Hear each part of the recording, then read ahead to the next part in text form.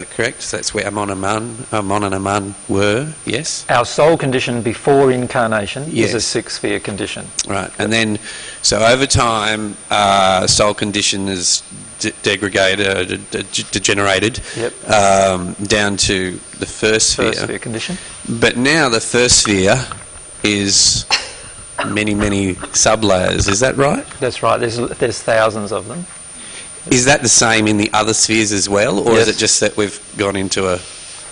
Downward spiral. it is true that that is the same as the, the other spheres. The other spheres all have layers, and so there are different layers. You can be a high in the third sphere or lower in the third sphere.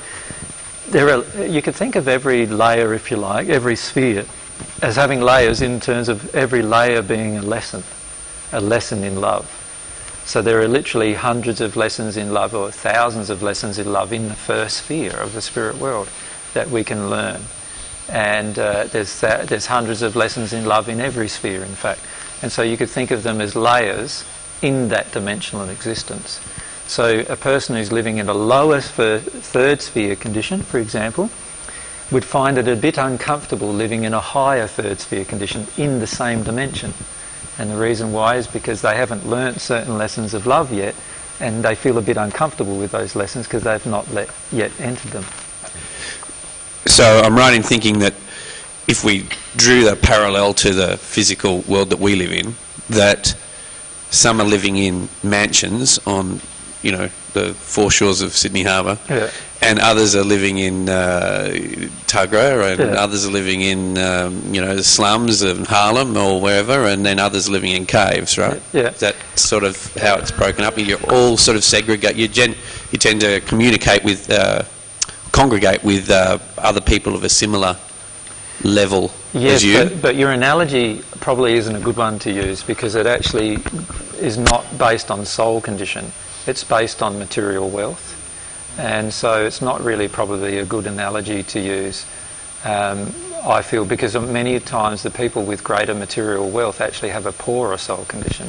yeah, but what I'm relating to is there's no material wealth in the, any of the spheres, is there? So Well, there sort is, of yeah. there is. Mm. Well, not in the way that you conceive it. It's not like money, but you have, like obviously in the higher spheres, you have a better house than if you would have in a lower sphere. Yeah, but that's built from your soul condition, Spot right? on, yeah. Okay, so but what I'm trying to explain through that analogy is that you're actually congregating with people at a similar level of soul condition as you, Even though you're on the same earth. even though you're on the same level. Yes, spot on.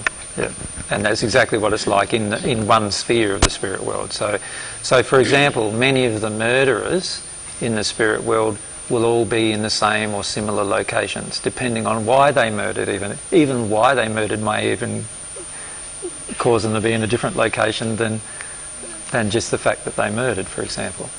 And sometimes, uh, you know, it, it all depends on the soul condition of the individual, what emotions within them cause them to do certain actions that attracts them to a certain location. So in the first sphere, the highest of the first sphere looks like the prettiest place you could get on earth. Like if you go to a, a national park here or something like that, it's really pretty, and you imagine living in a nice, you know, environmentally clean environment, and it's just beautiful, getting all the food you, you want. Well, the highest place in the first sphere is like that. The lowest place in the first sphere is unimaginable for the majority of you um, in terms of its squalor and degradation and pain. Um, and in fact, that's why many of those spirits call it the hells, because it is hellish, not fiery hellish, but hellish in terms of not only the emotion but the condition that everyone who lives in those locations lives in. So that's, that's the gradient of love in one sphere, in one dimension. And then the similar gradient of love exists in each other dimension, but above the first sphere. Yeah, I suppose that's what I was trying to work out was whether it's just the first sphere that's been subcategorized, so to speak, or whether they're all like that. They're all like that. They're all like that. Yeah, and each sphere has a has many lessons in love to learn, um, not just one lesson in love. So the first sphere has a lot of lessons in love to learn. So if you enter the first sphere in the bottom of the hills, which uh, which the people who are the master controllers of our economic system do, for example. Um, there is a lot of very, very basic emotions about love that they've got to work through before they they will progress. Now, they can do it a slow way by learning them one at a time through the lessons of natural love, or they can do it a very rapid way by starting to receive divine love. But either way, they've still got to learn the lesson. And as they learn the lesson, they go then into the next sphere, and eventually you transit, you know, you, you transcend each sphere, and you get to a point where you would say that you're at one with God. And that is the point that I described in the first century, the process of the new birth, and that's the transition between the seventh and the eighth sphere. But every sphere in between has all these groups of lessons of love to learn. And really, what you're doing here, the beauty of living on the earth, is that we can learn lessons of love from any sphere. So I can actually be living here on earth, my surroundings be first sphere in nature, but I could actually be in a condition where I'm in the third or fourth sphere, and I could be learning lessons of love from the eighth sphere even though I'm in the fourth sphere. And that's highly unusual in the spirit world because usually you learn as you're living in the environment. The earth has a lot of advantages. The physical has a lot of advantages in terms of what you learn. And Gerard behind. Sorry, I didn't. I know this question already. Just on that point of um, by the way, you can ask as many questions as you want for everybody. You don't, you're, not, you're not consigned to one. Um, on the point of learning, uh, and now I'm, in my head I know, but still. Um, the, the material you're giving us, at what level is that pitched? Um, many of the divine truths I'm giving you are actually lessons in love that will lead you to a condition of at with God. So, in other words, they will lead you into a state of the eighth sphere of your progression. Um, that's many of the lessons I'm currently teaching you. Many of the soulmate lessons that I'll be teaching you will actually lead you in a state of a 22nd sphere progression. So, in time, I'll be giving more and more different types of lessons based on different types of experiences of love. But the issue is that you can't receive them very well unless you've made the previous progression. Does that make sense? Yep. And Mary wanted to say a few things about it. Oh, I just wanted to point out as well that you can learn a lot of lessons and hear a lot of truth and feel it to be truth, but unless we're also, as you're probably aware, developing our, our soul condition, releasing our errors and our emotional injuries, then um, we, we, won't actually progress in the spheres, as it were. Uh, we can have the knowledge and of truth to, say, a fifth or sixth sphere level, but some of our darker emotions might be holding us in a first or second sphere state. And um, I was saying to Dave last night, um, something that happens reasonably uh, commonly with um, AJ's teaching and the groups that happen is that people come along, they feel so inspired and can really feel the truth hitting them.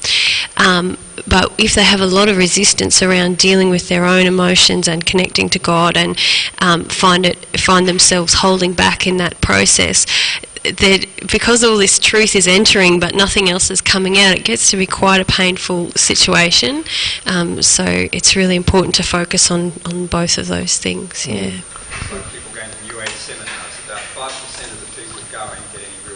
Yeah, yeah, that's true. And uh, the, tr- the beauty of truth is that, uh, that it, it, can expose everything in your life beautifully, but, but only if you practice it. And remember, all of these truths that you're being taught are all soul truths. They're not something you can intellectually practice, and they're not something um, that is that is something that you can understand intellectually. You can think you understand it intellectually, but until you actually practice it, you won't be really understanding it. Nor will your soul condition be changing greatly. Your soul condition does change, though, just by you hearing truth because it has this effect of opening up parts of you inside of your soul that allows truth to flow through you. So, so it's not a pointless exercise to hear truth, but if you're not going to practice the truth, eventually, as Mary pointed out, it does get pretty painful because you're hearing more and more and more truth, but your soul condition is still not coming up with the truth. So, so sometimes you're better off sort of just applying the truths you've already heard than you are to actually, you know, keep learning more and more new truths. the, the second thing that's often beneficial is understanding the fact that when you feel the truth, that's when everything becomes real to you. So all the things that you're being taught, uh, you know, now, those things will become real to you only when the divine truth actually enters your soul. So until that point, it's just in your mind, and it's great being in your mind because that certainly does open up parts of you to uh, being absorbed into your soul, and that's a better condition than not knowing the truth at all. But you have a lot more benefit if you allow yourself to actually feel the truth and practice it in your life. What we've also noticed too is that when a person hears more and more truth, but they don't change at the soul level, they get into more of a more of a discombobulated state, shall I say. A state, uh, I use that word, that was one of the Apostle John's favourite words, so that's, uh, he must have been, he must be here with me at the moment. but um, in other words, you get into a more, a, a, a state where you feel more physical and emotional pain when you've heard truth but don't practice it. And that's and it's a frustration, uh, anger type emotions too. You often feel.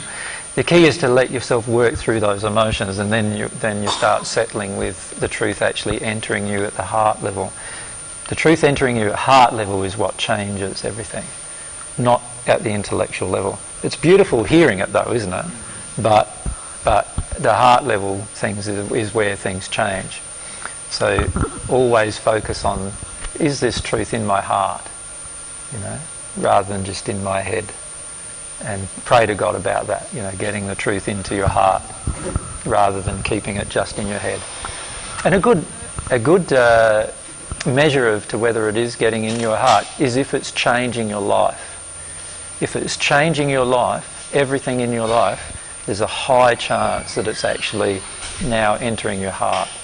If it's not changing much of your life and externally your life looks much the same as what it actually was when you began the process, then it's yet to really enter your heart. And so talk to God about the process of entering it entering your heart. Yeah. And if we have a mic up there. and I think we'll have a break at 2.30. Oh, well, actually, we probably should have had a break half an hour ago because I'm dying to do a wee. But, anyway. we'll, but, but we'll, ask, we'll answer, answer this question and then we'll have a break. Um, AJ, I... Um, is it on properly? Right up. Yeah, it's got a green light or gold. Even past That's it. AJ, I have a. I've been working through watching your uh, DVDs for yep. several months now. Yep. Um, one question in my mind, I I am a Reiki master and I've done a healing process called heart resonance therapy. Yep um, about 12 months or more ago. And the heart resonance therapy works with the heart, but I, I have a very strong feeling that it's not, they say it's divine love, but in my heart I don't feel it is through things that they, they say and what you're saying. Yep. So am I harming myself by still going into the, um, the HRT, the heart resonance therapy, and using that and switching between working through my emotions through the di- divine love way.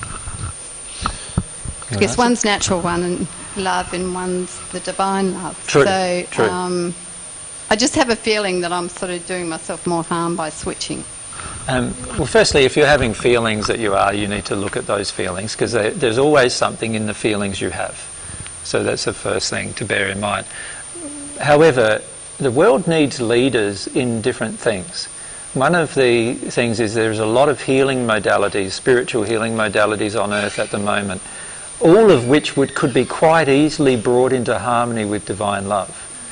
And so it's great if we already have a background in them that uh, we can then start pondering the question as to how harmonious this particular action is with divine love. So instead of throwing out the healing modality, look at instead how you can bring the healing modality into uh, harmonious with the principles of divine love that you're learning. Can you see how, if you do that, yeah. you will have a feeling when you do your heart resonance therapy on a patient, you'll have a feeling that it ha- isn't actually accessing their causal emotion or their blockage emotions, right? And you will have a feeling when they're in emotions of self deception And so you need to then trust those feelings that you have and help them through those blockages that they have into opening their heart. The truth, you are right, this, the, the therapy is a natural love therapy still, even though they're calling it God's divine love, because they still view it very much, most of the time, as an energy. God, I mean, as an energy, rather than as an entity. And so if you can just change, all, all is, it's just a small switch, although it's a large emotional change generally within a person, of switching between God being an energy and God being an entity. Right? Yeah. It's a large conceptual difference, but it doesn't take much to make the change if they work through it emotionally. When they do that, you can use exactly the same techniques in many cases to heal a person or to get them through different emotional conditions using God's divine love rather than just a natural love process.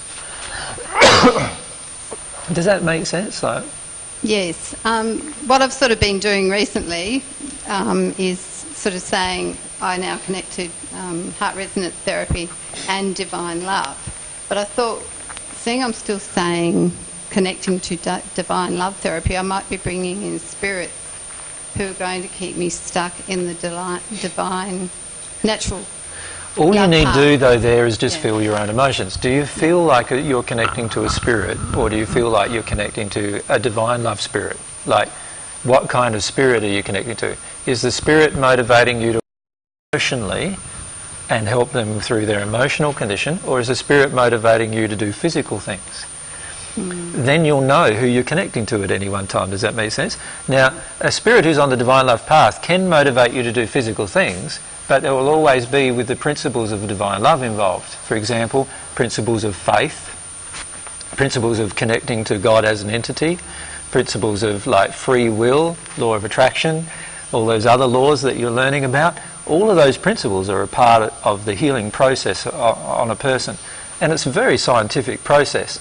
So a divine love spirit is a very scientific person because he understands all the science of healing, much more so than a natural love spirit does. But ask yourself, are they is the feeling I'm getting from this spirit that God's an energy, or is the feeling I'm getting from this spirit that God's a real being? Is the feeling I'm getting from this spirit that He wants to heal this person no matter what the person's will is? Or is the feeling that I'm getting from the spirit that I've got to work with the free will of the person to heal them? Do you see what I'm saying? Like mm-hmm. one of them will be a natural love principle, the other one will be a divine love principle, and you'll be able to tell the spirit that's with you doing the healing just by understanding those principles. Yeah. Yeah, But don't throw out the whole thing whole thing, no. Because doing that is pointless. What we need is people who are who are used to doing different heal, healing types of healing with all different types of modalities and bringing those modalities into harmony with divine love. It's like I don't have any problem with there being every single current religion that's on the earth remaining on the earth as long as all of them bring themselves in harmony with love, you know, divine love or natural love even. Um, it would make the world a far better place by just bringing them all in. So it's not about destroying a lot of these things, but it is about changing them in such a way that, it, that it's now loving instead of unloving. Yeah? Yeah. Yeah, because I've always asked, even when I, before I did the heart resonance therapy, I always asked um, the um, angels and guides to come in of God's highest white light. So I, I presume by doing that I was asking for divine spirits to come in too. Yeah, be careful that there's a difference between the language that you use and the emotions that you have. Uh, a lot of people get caught up in saying, "Well, I've asked for the higher spirit or the guide and the you know celestial archangels or, or whatever." But if we're still very much on the natural love path, we will attract natural love spirits. So, but now that you're making a shift uh, into this divine love path. w- w- Uh, don't worry so much about the language, but the, the feelings you're feeling. having. Yeah. Yeah. Yeah. Um, a lot of times people say to us too, like, oh, you know, you've got to surround yourself in a white light and do this, praying to God to only bring me the Spirit for my highest good. The truth is that if we're on the divine path, we would understand that that's all already happening anyway. do, do you follow me? It is yes, already I've happening. started to realise that lately because I used to do all that, but since I've been watching your DVDs and that now, I'm sort of just trusting now that I'm And know. it's the emotion in you that Yeah. generates that, mm. n- nothing else, not the thoughts. And so a lot of people don't realise that if I am in a soul condition where I'm in a first sphere condition, and I have a lot of really dark emotions. Let, let's say, let's say as a healer, I'm there trying to heal somebody, but I have, actually have a, some dark emotions towards men. You know, like I think men are bastards, and they've been quite cruel in my life, and I'm sick to death of men. And in fact, I, I, I really don't want to see another man in my life, personal life, and I'm happy for other people to have men in their life, but I'm not that happy to have them in my life. And all of these emotions are in, inside of me, and I'm the healer, right? It sounds funny, but it happens a lot. Like I've met, I've met so many healers in this place, right? And I'm the healer. So now, now I'm a woman, let's say, in that condition, and I'm the healer. A man comes in to be healed. now, what kind of uh, spirits are going to be with me, with this man in my house or in my, my room getting healed? I'm in this really angry state with men. I'm really, I, I- and what am I going to attract? A heap of these women spirits who are also in angry states with men, who would rather harm the man than heal him, right? and that's who I'm going to attract. Now, now I'm there asking for the spirit of my highest good. Now, my guide is a part of this play process, right? My guide will be trying to keep these other spirits away, but my own soul condition will be trying to you know, draw these other spirits in just by, by the action of my soul condition. And so there's my guide trying to keep it away, there's my these lower spirits trying to harm the man, and there's all this other stuff going My intention is I want to try and help him, but actually my, my emotion is I'd really like to give him a kick in the backside.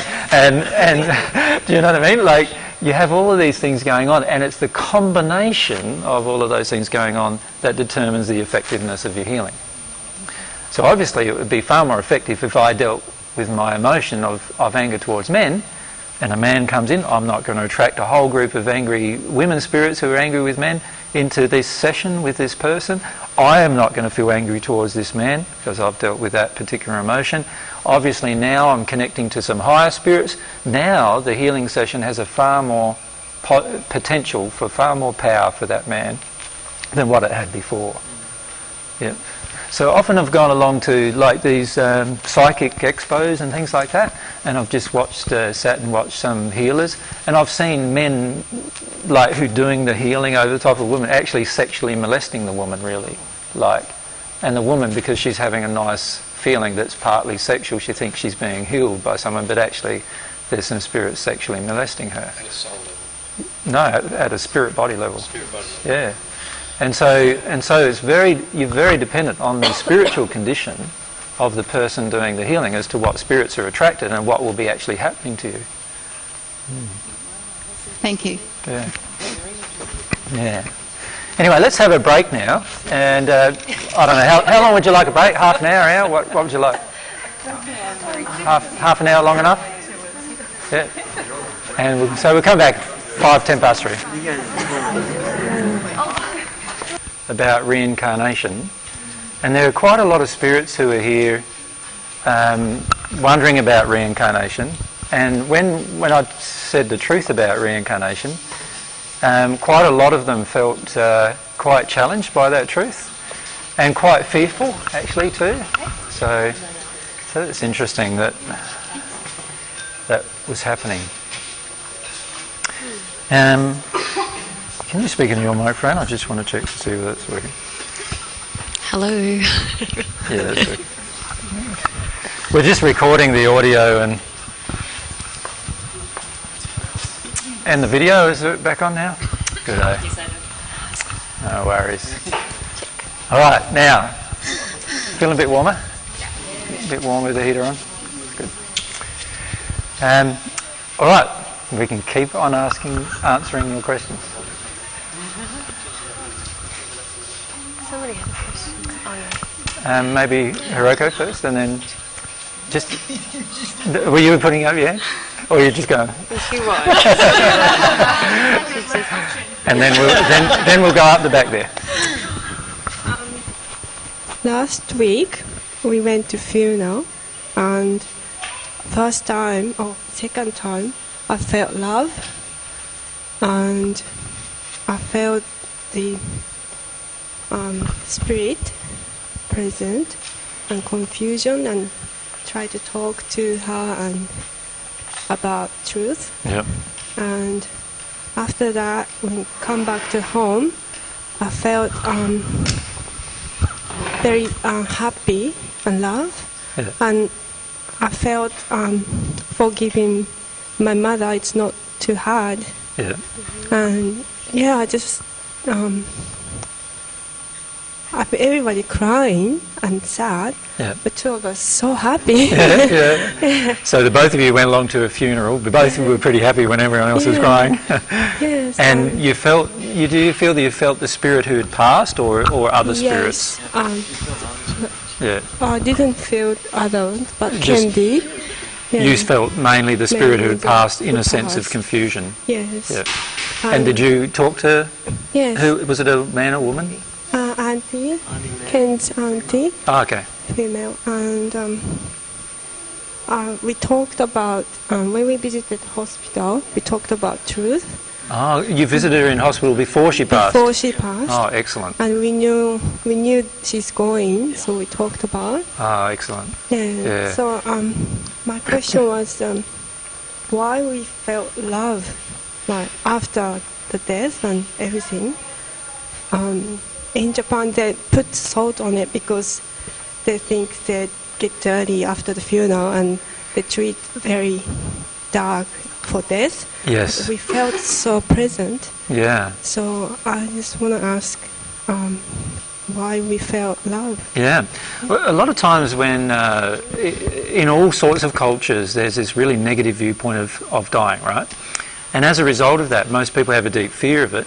And because they have the deep fear of it, now maybe my mic's not being heard in all of this, so I better best make sure I'm turned on as well. It is, it is working, isn't it? Um, a lot of a lot of people feel um, when they pass a, a, um, a deep sense of confusion as well, because of the misunderstandings that are going on on Earth and their own belief systems and so forth. Having the opportunity to talk to somebody before they pass is a fantastic gift you can give them, and most of you would not understand the impact it's having on them, because it, because it just into even if it just enters them intellectually before they pass, because it's one of the last things that, that they heard, it's one of the first things they remember. And because of that, they often have a lot of feelings of thanks and gratitude towards the people that have done that for them. So while they might not be that happy to hear about it before they pass, um, after they pass, they often have a very, very strong feeling of, of gratitude and love for the persons that have done that for them. And that's one of the feelings that you were receiving, Hiroko, for, for being there and doing that for her. The, the beauty of talking to spirits uh, and talking to people before they become a spirit is they often remember everything very clearly soon after they've become a spirit. They remember your discussion, even if they disagreed with your discussion when you were having it. Alright, so can you imagine, you, you, let's say you've never heard of the spirit world or you don't know much about it, somebody comes along just before you're dying on your deathbed and they all of a sudden tell you about all these things about dying and that it's nothing to worry about, you've got a lot to look forward to and they tell you a bit about the spirit world and how it all works and all those different things. And then you pass and then it turns out that what they were talking about was true. Mm, That's a, like, uh, awesome experience for you if you've just passed. Imagine if you didn't hear that from that person. You might be floundering around in darkness for years without knowing what was going on. So it's a beautiful gift that you can give them. Yeah. And you'll receive love from the person from the person who you do that for generally. So I was receiving love from her. Yeah, from Oh, her, and also some spirits that were surrounding her who had also heard that information when you presented it to her before she passed. Oh, Does that make sense? So Yeah. there's a group of spirits involved. Yeah. yeah. Yes. Hmm. Thank you. Now, someone oh, up the back there was. Uh, can we put the microphone there? That's it. We've, it's already mic there. You know how they've got all these armies on this planet, right? Fighting each other. Yep. Now, all these people in the army would be considered murderers, wouldn't they? Uh, yes, The generals and the ones that order all these yes. things to happen. Um, that means that this planet's full of murderers. Uh, yes. I mean, that's, that's a bit, bit mad. So what happens with all these people who, afterwards, when they pass into the other side, Um, they pass in various conditions. They don't all pass into the same place because they all have different culpability.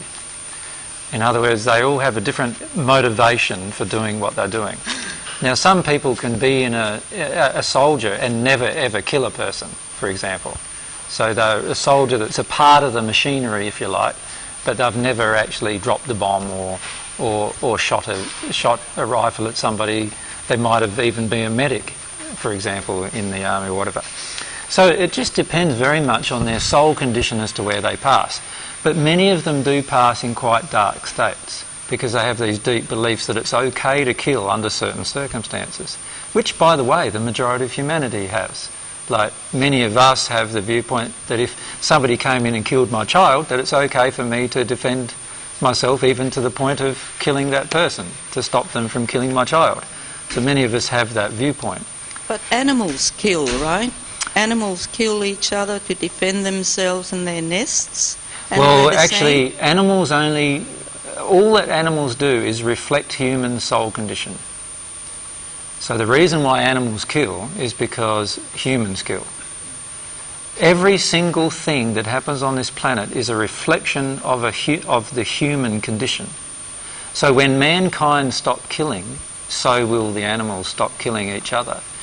In fact, uh, in India, there's this, there's this um, um, what would you call it? Um, sort of a monastery. a- It's a Buddhist monastery, um, where they have lots of tigers, and these tigers um, have lived totally on a vegetarian diet all of their lives.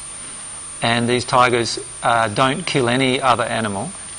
And you can go up to them and actually play with them and pat them and lay down with them and hug them and all sorts of things. It's well known. It's, a, it's now a tourist attraction that people can go there. And, and the theory behind it is that they're all Buddhist tigers. Right? In practice, what it is is that because Buddhists generally practice the whole idea of, of non-violence, um, and these tigers have been treated in exactly the same way, the tigers reflect the condition of the people in the monastery. And because of that, they also don't have the same problem of wanting to kill other tigers or other animals. So animals are a complete reflection of mankind's soul condition. Now, you can try this at home if you want. So if you've got a pet, you can try it at home to see whether the pet's reflecting your soul condition. And what, what we've noticed really often is how much pets reflect certain soul condition thing, or all of the person's soul condition, just like a child. The pet doesn't have a soul itself, but actually it's totally dependent in its emotions on its owners. In other words, the person who it connects to the most, its condition. But every animal in the planet is also connected to the human condition. Whatever the human condition is, is reflected on every in every single animal as well. And even even the creatures of the sea are reflected in the same way. And you can put all this into practice by just actually experimenting with your own cat or dog's or pet's condition and see what emotion you're denying because whatever emotion you're denying, your animal will reflect at you. So you know how sometimes people get uh, a cat and then all of a sudden the cat se- seemed to be a, quite a docile cat when they first bought the cat, but then after a few months the cat seems to push them around. Like we had we had one friend who uh, the cat he would he would this cat was a stray and it came into his home and so he started feeding the cat, and after a while the cat started pushing him around. What it did was it would he would give it food in a certain place on the kitchen floor. The cat would come up and eat half of it. And then the cat would just sit down at the doorway of the kitchen and meow and just wait. And if he didn't move it, the cat wouldn't eat the other half of the meal. But if he moved it to a new place, the cat would always come and eat the other half of the meal. Right? And I, I said to the man, well, what emotion are you feeling? He said, I'm just feeling manipulated. right? What kind of cat is this? Is this a male cat or a female cat? He said, oh, it's a male cat. And I said, can you see all of your father, your relationship with your father in this? Right? And when he started connecting it, he could start seeing that actually, yeah, he felt totally manipulated and controlled in the relationship with his own father. And this cat, a male cat, was doing exactly the same to him. And he was responding. He was actually allowing this cat to completely manipulate him, right? To such an point that he was quite distressed about the cat's actions. And the cat was just reflecting the emotion within him that he was denying the expression of. And you, if, you can, if you experiment with that, any behaviour of your animals, experiment with that and just ask yourself that question, you'll be very, very surprised what happens. Now, that also happens in a much larger scale. So, the scale of the humanity, the animals kill other animals primarily because man kills men and animals. Right? So, once man stops killing animals for food, for example, animals will stop killing animals. Once man stops killing man and stops killing animals, then animals will reflect that condition. But aren't those animals biologically programmed to eat meat? Like they've got their canines and you know all that stuff, and their digestive systems have adapted to eating. Um, Everything, Meat. every single thing the animal has done has, has been adapted by man's soul condition. So it's actually man's soul condition that's caused the adaptation, not the animal's biological adaptation. And this is one of the main uh, misunderstandings that science has on Earth is that everything is dependent upon man's soul condition. It's man's soul condition degrading that caused the degradation of, of, of animals in their interaction with each other. And so, uh, and you, you can actually see this when you deal with your own emotions about meat, for example. You will actually be able to, for instance, if you have a pet dog, feed your dogs meat, and they will uh, no, no meat and just vegetarian diet, and they will love it, and they will stay healthy. In fact, they will actually get healthier, because even their health is a reflection of your condition, your own soul condition. Everything, and this is something I keep saying in all of these sessions, everything you can think of is defined by your soul condition. Everything. Absolutely everything. Now, what man has done is we've gone down this track of justifying our behaviour by the modifications made to, by our soul. So our soul gets into a certain condition, that causes our environment to be modified, and then we justify our action based on the envi- eh, modified environment. It's all back to front, really. We're just justifying our own error by doing that. Can you see that? It's like we're causing our own prophecy to become true by our own soul condition. If we, if we go down the opposite track, in other words, stop justifying all of these unloving things to animals and to other people, and we start acting in harmony with love and feeling the love within us towards these animals and towards people and towards everything around us, and then notice your environment change, and you will notice your environment change. Now, those that have done this with plants notice the change quite markedly. There are people doing experiments now where plants grow three times the rate because of their soul changing towards the plant. Does that make sense? Like, these things are all possible, but, but we need to experiment with them to determine the truth of them scientifically. Man doesn't. What man generally does is justify our current setting without, without understanding how it was created. So, so like this is why sometimes I mention to people a lot about eating meat and, and all of those kind of things, because that's all part of keeping this condition on the earth the same, and we justify it to ourselves all the time by saying, oh, you know, man, like in the Bible, there's this justification that man, um, animals were made for man's enjoyment, you know, in other words, that we can eat them.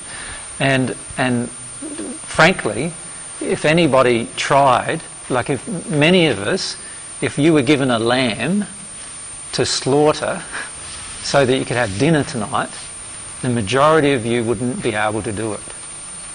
Right? Um, who saw the movie? There's a movie, you know that movie with Nicole Kidman and um, Jude Law? That really Mountain. Cold Mountain. Who's, you remember in that Cold Mountain, there's a scene where this lady gets a goat who was her pet goat, and she slaughters it and then cooks it up for I don't know if any of you have seen that movie. It's a really good movie, actually, a very triggering movie. But when you actually see her doing it, just something inside of you just like breaks, you know, watching her do that. And and that's the thing is that many of us don't do it personally, and so what we do is we distance ourselves from the emotion of it. So we're quite happy to eat the meat that somebody else kills, but if you were asked to personally get your hands bloody doing it, most of us would rebel at the thought, let alone actually do it. And this is where we're not listening to our soul. If we listened to our soul, we couldn't even eat that meat. Now, of all the audiences I've ever been in front of, there's only been one or two people who've ever put up their hand and said, Yes, I kill my own food. Right? And I've said back to them, You're the only honest person in the audience. in the sense that we often ask other people to do things that our own soul could not carry out so that we don't have to take the responsibility of it. Does that make sense? So my suggestion is whether all of these things happening externally on the earth, including the wars and including, ask yourself what inside of me is an emotion that could create this kind of event. So when we see wars going on on the other side of the planet, for example, ask myself, what emotions in me, what justifications in me are there where I would feel it's justified to harm another person or even to kill another person? And work through that emotionally. Does that make sense? Because every single thing happening in your environment, including on the whole earth, is there to actually help you access one of your underlying emotions that's not loving. So ask yourself what's going on. When you ask yourself those things, you will make some major decisions about your life and some major feelings will come up. For instance, when I asked myself that about, about war, I realised and went through an emotion and realised that no matter what anybody did to me, I would never be able to respond in violence. Ever. And no matter even if they did it to Mary, so someone I loved, or my own children, I would still never be able to respond in violence. So that change occurred within me. And then when it came to eating meat, because I used to eat meat, I then asked myself, and there was only one time in my life where I was asked to kill an animal, and I personally couldn't do it. I was about 11, uh, 13 years old, and we were living on a farm, and uh, and we were my father was slaughtering a sheep for our for food, and uh, and he asked me to do it, uh, and I couldn't do it, and um, and so he did it. And that's the only time I ever even got close to any personal responsibility about eating meat. And then I realised that if I couldn't do it, then why was I eating it? There was something wrong here, something wrong at the soul level, you understand? Something wrong inside of me that I needed to release. And once I released that, within a period of one week, I could no longer actually even eat, I couldn't even handle the smell of someone cooking meat anymore, let alone eat it. And in fact, I had one meal after that where I ate meat and I vomited it up. Like that's how much of a strong reaction now my soul had to the whole process. What about fish? Um, fish is still an animal and, a, and it's still meat. Um, and fish have feelings just like um, other animals have feelings. And, and interestingly enough, for some reason, mankind finds it easier to kill uh, marine animals or marine life than they do to kill uh, mammals. Um, and there are probably some psychological reasons why that is the case, but in the end, it's still as damaging. They don't make a sound. Did you hear what Mary just said? They, do, they don't make a sound when you kill them. Uh, I think that's what it's. You just uh, hold it a bit It's further just apart. me. Hold it a bit further away. They don't make a sound when you kill them. Fish. Yeah, someone told me that once.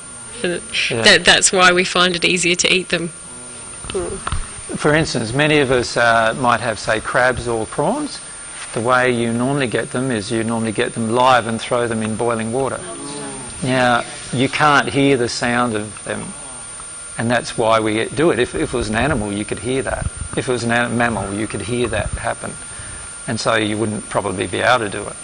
And so a lot of times we justify our actions by what we sensorily can accept. In the end, when you work through the emotion of it, you won't be able to do any of those things. Now, I've had conversations with spirits which have been very interesting on this subject. Um, I was once talking with a, a, medium, and she had this spirit came to her about diet, and she had this spirit came to us, and she and this medium said, "Oh, you want to stick with a vegetarian diet, but you're allowed to have fish." This this spirit said, and then the medium noticed that there was a big argument going on in the spirit world between that spirit and one of the spirits who were with me. And the argument was something along the lines, um, no, we don't agree with that.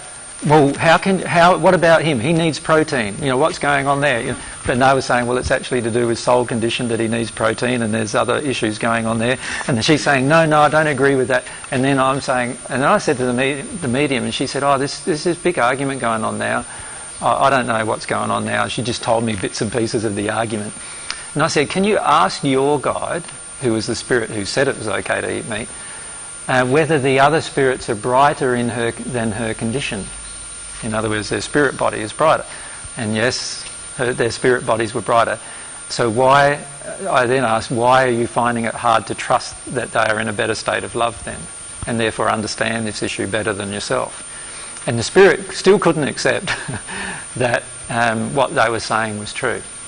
And what they were saying was, that everything that goes on in your body, in terms of what you can assimilate in your nutrients, with the nutrients that enter you, is all based around your soul condition.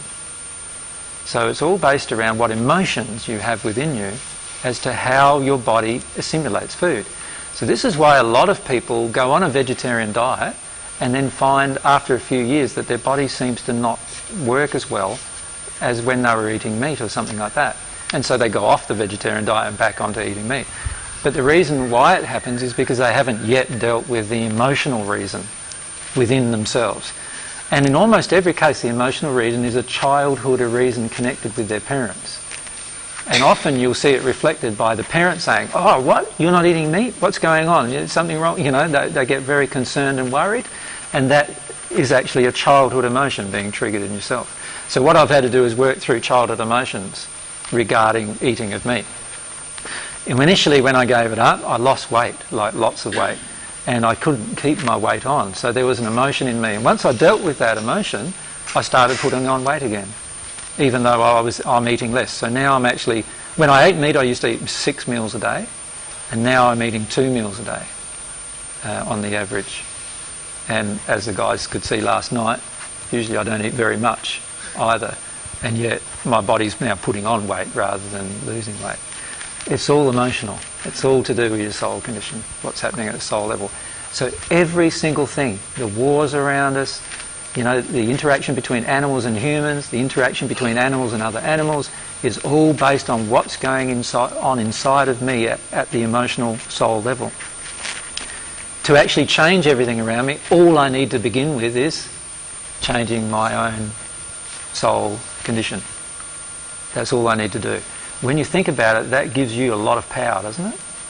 That means that absolutely everything can change when we decide, firstly, to change ourselves. See, most of us don't believe that.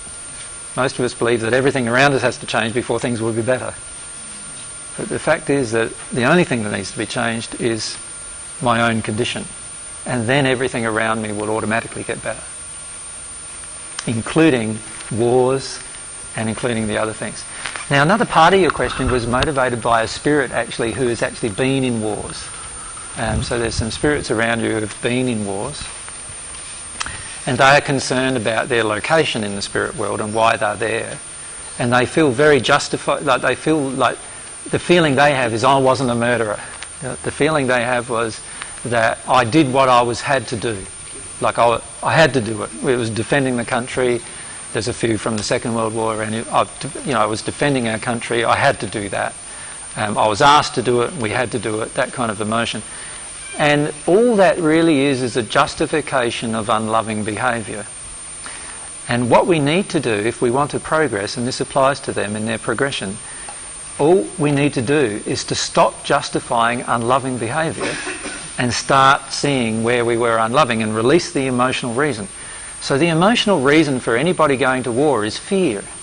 I am afraid that someone will take something from me, either my house or my belongings or my children or my own life. I'm afraid, either way.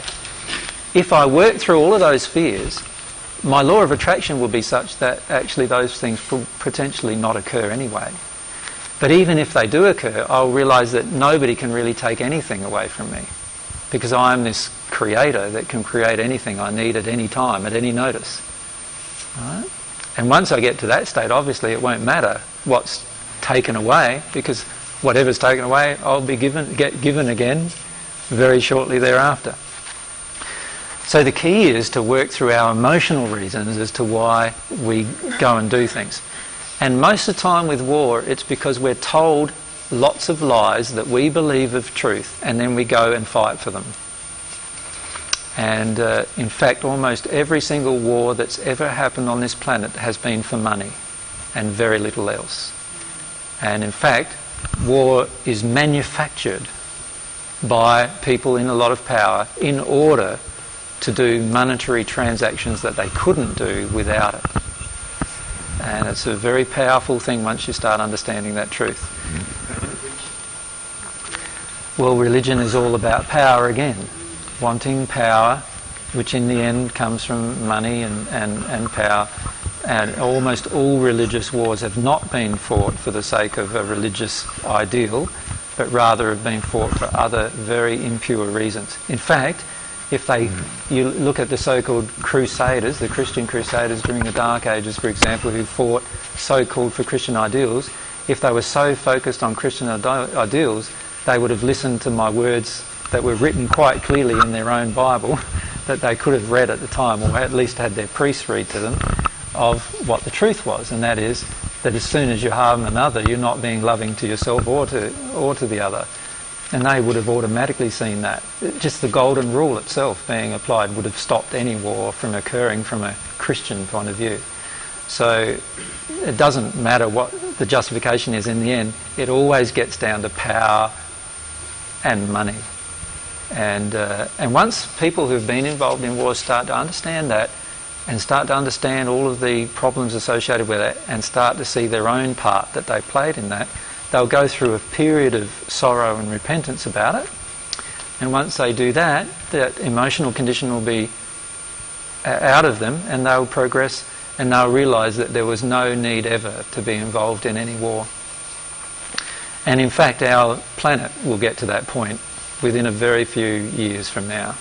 So, and that, that's something to look forward to and happening on our planet as well. Yeah. Um, question down the front there. Sorry.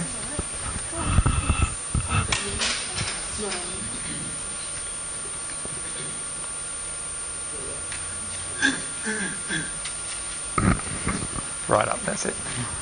I asked um, a Jewish doctor, um, my doctor, a lovely man, uh, did he believe in um, redemption and closure? And he said no, he did not. I mean, he's he's my age, so he's very connected, probably with the Holocaust and so on. Uh, I have a situation. Um, I had a brother who died many years ago in the 60s. Uh, it was a suicide. And the, he, his best friend um, followed him to the pub where my brother got very drunk in the morning, and then my brother drove the car and it flipped over and he died.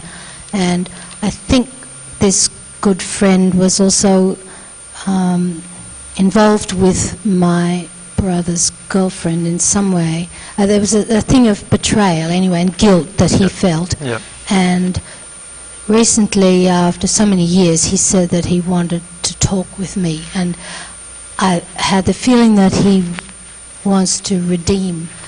So he, he feels repentant or sorrow for what he's, his part in it. I think it's crushed his life in some way, mm-hmm. and of course, it's it's crushed my life, and I could have felt guilt as well. I was 14 at the time; my brother was 18. I could have felt guilt. Well, I, I never stepped forward to. Tr- my father, my brother had tried to slash his wrists a week before he died, and then so there was this terrible desperation in him. Mm-hmm. But I, I was such a sort of dreamy fourteen-year-old. It never. And my brother had withdrawn himself from the family that I didn't. I never went to him to. Mm-hmm. I never thought of helping him. You know. Mm-hmm. And, um, So there's a number of questions in there, isn't there? yeah, there's sort of There's the issue of redemption or forgiveness. yes. There's the issue of, of your own feelings regarding Maybe guilt. guilt. And, And- and you know, I'm a survivor, survivor guilt, and, Yeah. and this other person who comes from a family where he's he has a handicapped brother, and he's the only, he's a, has survivor guilt on both sides from his own family, and Yeah. through through his involvement with my brother and our family, Yep. and uh, I don't quite know what to. Um, To do with that. whether I quite like I sort of believe in carrying this guilt like a stoic Yes. sort of The like- majority of us have this viewpoint uh, with guilt that we deserve to actually stay in this state somehow. Hmm. Um, how many of you feel that? Like you looked at some of the things you've done in the past, you feel pretty bad about them, and so then you go down the track of carrying the for the rest of your life in almost like a, a self-punishment. It's a sort of a the motive of punishing yourself. Um, it's a common sort of uh, thing that happens with people, particularly people who have survived bad events when other people died. Uh, and, and particularly in families where there might be sort of handicapped children and a, and a child that is not handicapped. Often the child who's not handicapped will have the same kind of feeling as well. It's an emotion that needs to be dealt with. In the end, what created all of these events are actually parents' emotions. So actually your brother's emotions uh, related to his eventual passing and his, su- his suicide and passing, and all of the emotions that he had up until that point, were actually created by his parents, not by his sister. Right? So, so it's actually the parents that need to work through different sets of emotions. So um, if we understand, if we can understand that the biggest thing that we can do for our own children is to actually work through our own emotional condition, that has a large and powerful effect on our children. The issue you're facing though emotionally is that you're desiring to carry the guilt in a form of self-punishment mm. in order to avoid a deeper emotion. You are in what I would call an emotion of self-deception. What emotions of self-deception allow you to do is they allow you to get away with feeling the underlying emotion. So guilt is one of these kinds of emotions. When I feel guilt, it actually gets me out of feeling a deeper emotion that's even more painful than the guilt. which is Deep grief in your case. Right? Just a deep grief and sense of loss and a sense of responsibility that you need to release. So you actually feel that somehow you were to blame for what happened to your brother, for example. And then that, instead of allowing yourself to feel that you were to blame, which is an emotion that you, could, you can allow yourself to feel, what you're doing is you're staying in the blame. So there's a whole difference between releasing the emotion from you and actually staying in it for the rest of your life. When you stay, stay in the emotion for the rest of your life, you damage the rest of your life. And it's a choice that you personally are making to damage the rest of your life in order to punish yourself for something that wasn't actually your creation in the first place. So it's quite sad in that regard. And this often happens with survivor guilt. They're actually punishing themselves for something they never created in most pla- cases in the first place. Now, so there's that avenue. So my suggestion is to work through that emotion rather than rather than enjoying the carrying of the guilt burden. Hmm. Because in a way you enjoy it. Do you know what I mean? yeah. It's a way for you to actually say, I can't do that because I'm guilty, sort of thing. It feels righteous It to, feels right. to carry. hmm Yeah. So the key is to work through the emotion of forgiveness of self. It's a major emotion to work through for the majority of people on the planet. If we never forgive ourselves, we end up hardly ever forgiving anyone else around us either. So it's very important not only for our own healing, but also for everyone else's healing. It's almost an abstract notion, though, to forgive yourself, isn't it? Yes, so that brings up the question of redemption, which is the original question you asked. Now that is a very important process in your connection with God. What, what I would call redemption, or if we go back a little, there's forgiveness, repentance, and redemption, which are basically three three-step process. They are actual laws that exist in the spirit world and on here on earth that actually can help you greatly deal with the emotions. Firstly, there's the act of forgiveness. The instant you actually even choose to do something wrong, God forgives you for that. So even if you did it, if you did it purposefully, so let's say one of you got this emotion inside of you of anger towards somebody, and then the anger turned into rage, and then you decided you were going to kill that person, and you went ahead and just killed them and you did it purposefully. The instant you do that, God forgives you. So that's number one thing to remember. But God doesn't take away the consequences of your behaviour. So God instantly forgives you. In other words, God has no emotional animosity towards you for doing it. So do you think God has any emotional animosity towards you for doing it if you did it accidentally? No. Definitely not, hey. But if you, even if you, I'm saying even if you did it purposefully, God doesn't have any emotional animosity towards you. God has no desire to punish you, to make your life bad because of it, none of those things. God's laws automatically create consequence though. So if I did that, there's an automatic consequence on my soul. Right? So when I break a law, there is a consequence on my soul. You can actually overcome those consequences through two methods. One is called karma, which you've probably heard of, or I call it the law of compensation. What that means is I compensate for what I've sown. So I sowed something, I reaped the result, I reaped the result, and as a result of that, I now have this emotion in me that I need to compensate for the original action. So that means like Let's say I hurt Mary in some way. If I go through the law of compensation, I would have to feel the emotions that Mary felt when I hurt her. And I would have to connect to the reason why I hurt her, and I'd have to work through those emotions. And I'd have to feel the results on Mary's life of how I hurt her. And once I've done all those things and felt about all those things over a period of time, you can imagine that might take quite a long time, um, I will then be in a place where I'm no longer paying the penalty the consequence, if you like, of what I've done. And, and there's a high likelihood Mary would also, if I went through all of that, that she would feel like she could forgive me. Does that make sense? That's the law of compensation. There's a, another law, which is a divine law, called the law of repentance. If I have deep sorrow for what I've done and I, I desire to feel that sorrow and connect with God about that sorrow, God can actually reach inside of my soul and pull out the emotional reason why I did what I did.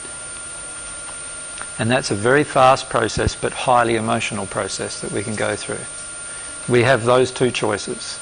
Um, God offers us those choices. One is totally self-reliant, the other one is totally God-reliant.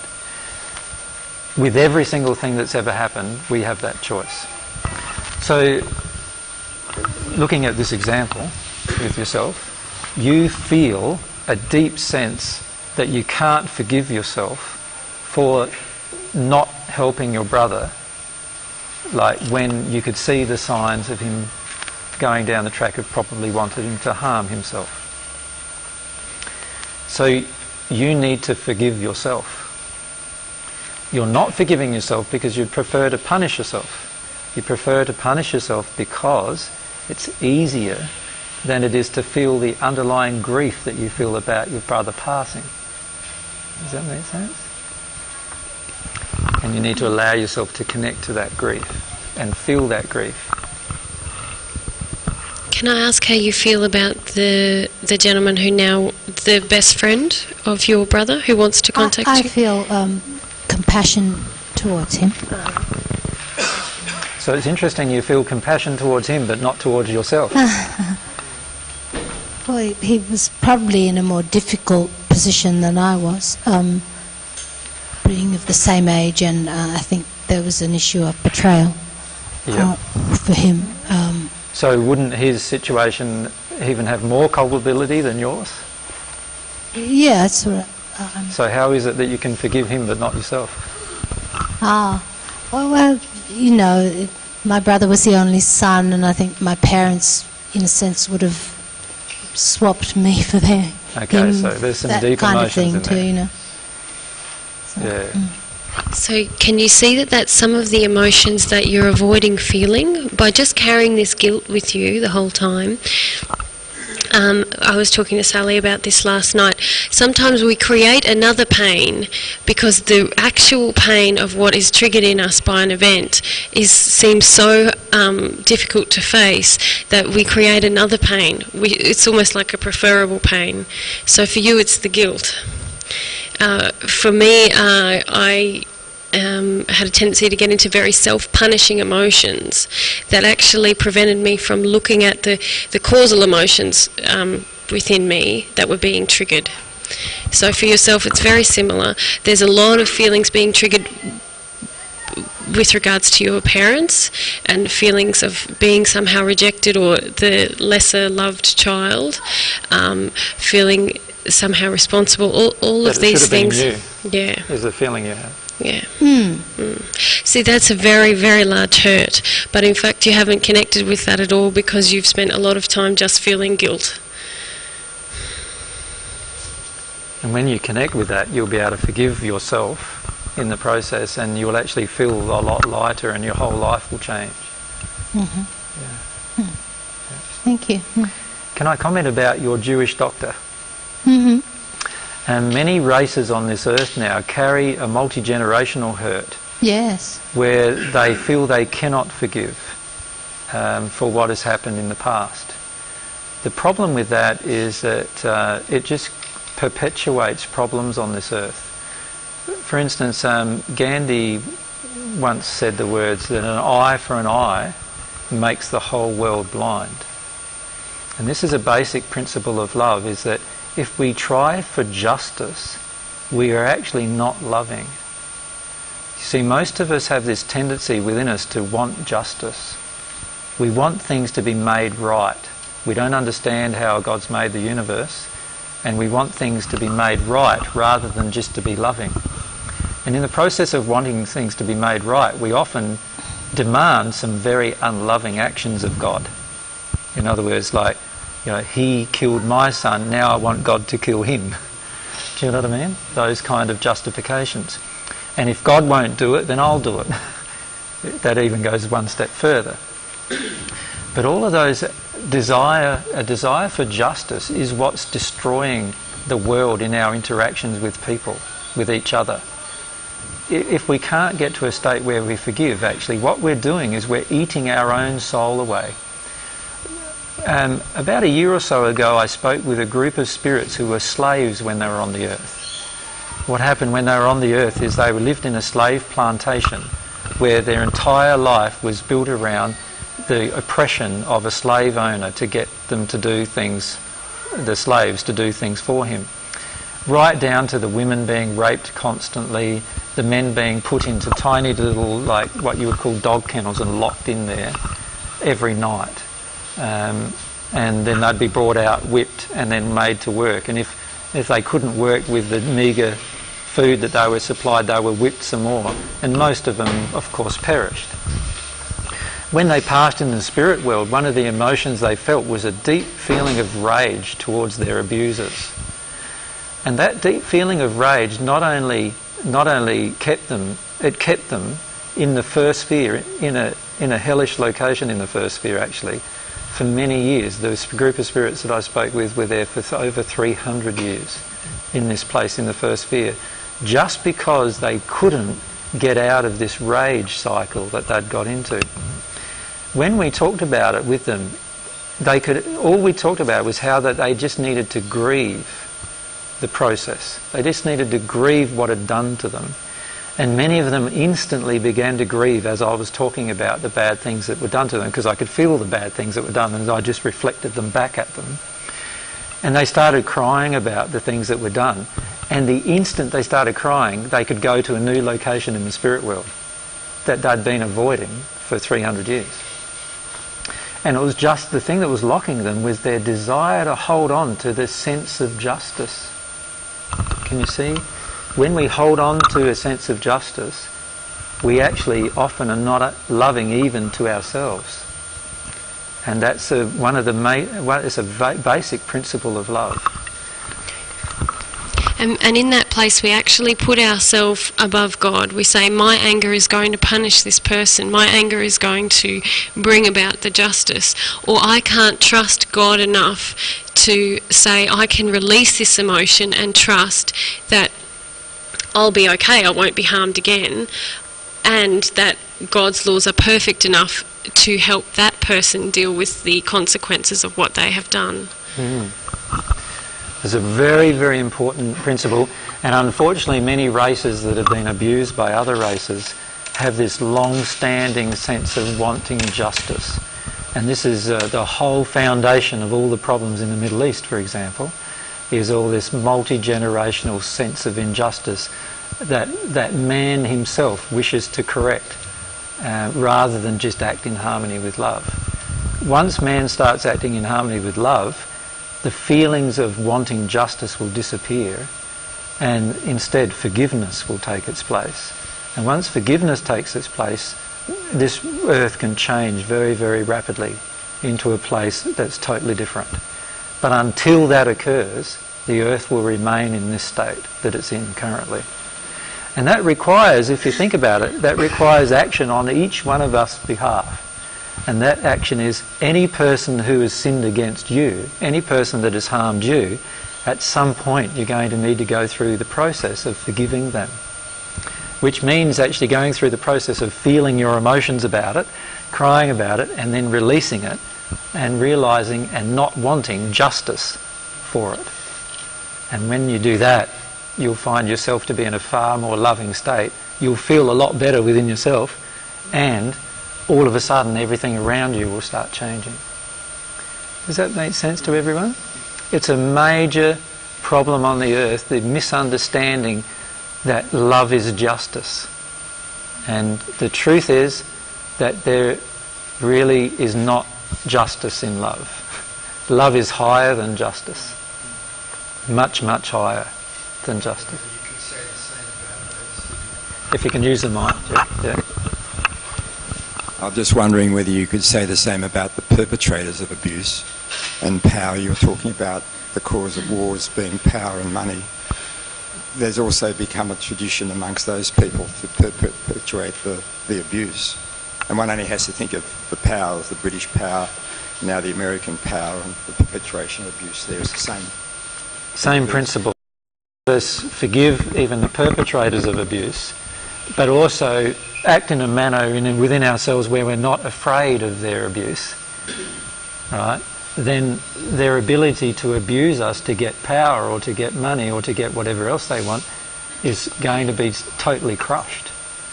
Like, it's totally impossible for a person to get anything from you if you're unwilling to give it at the cost of your own life. Because in the end, what is your own life anyway?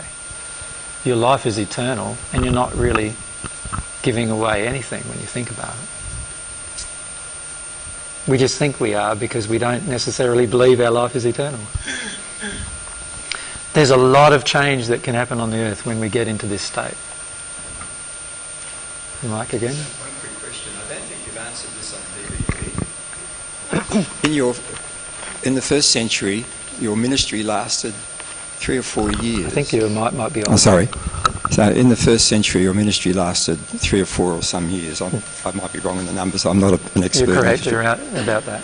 Um, and you're taking a long time now in reincarnation to work through your emotions before you really start to take action as if it was a ministry. Um, you sent an email around and commented about some web page I went to where so some I mean that's just amateurish stuff to compared to what will happen when you actually start to take action. Uh, the, rea- the reaction around the world against you will be enormous. Um, I'm just wondering, uh, uh, is there a pattern emerging? Do you really see it a very short ministry for you? This is one of Mary's major emotions. Interesting law of attraction for Mary. Want to comment about it? I hope not. Um, my feelings are that I won't pass. Um, in the first century, I did have a feeling that I would pass. Um, this century, I have a feeling that I won't pass. Um, it's clicking in me. um,